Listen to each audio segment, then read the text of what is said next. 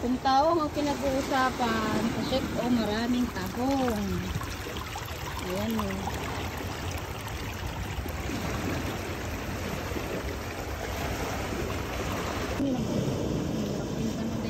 Nagarapin na gina na kita.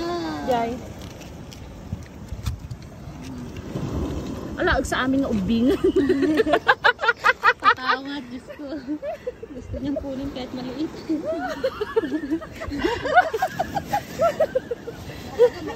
Malugi lang pa yan.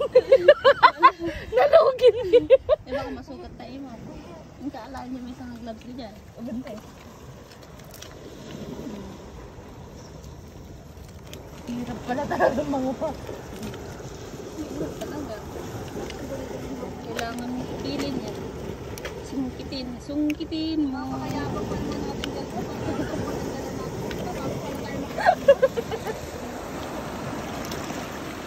Okay lang yan. Laban lang, besh. Nagyayabangan pa nga kami dalawa.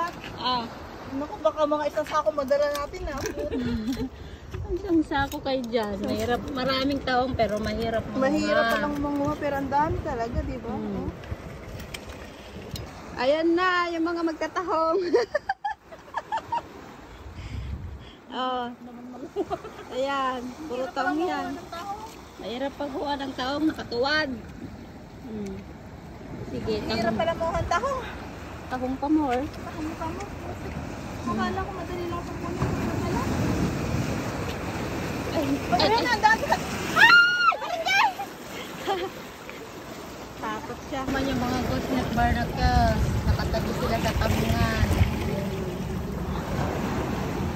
Neck barnacle. Sa baba naman nyo. Kasagana na yung dagat na to. Ayan, ito yung neck barnacles. Eh. Ayan. oh.